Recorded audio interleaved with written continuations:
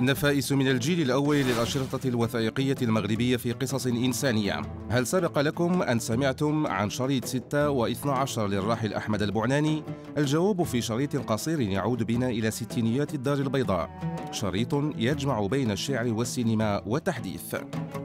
من صخب الدار البيضاء إلى مكان عريق وأكثر هدوءا مدينة فاس. فاس وتاريخها وإشعاعها في شريط للعرب بناني يحكي عن أقدم جامعة في العالم جامع القرويين.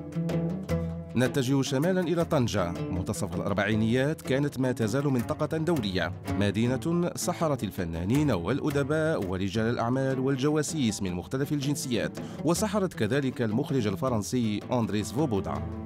نختم جولتنا عبر مدن المغرب من مدينة أكادير. في هذا الشريط يصور المخرج محمد عفيفي انبعاث المدينة بعد الزلزال المدمر الذي ضربها في فبراير عام 60 900 وألف. أربع مدن بعيون أربعة مخرجين من الرواد في قصص إنسانية. الأحد بعد نشرة الأخبار المسائية.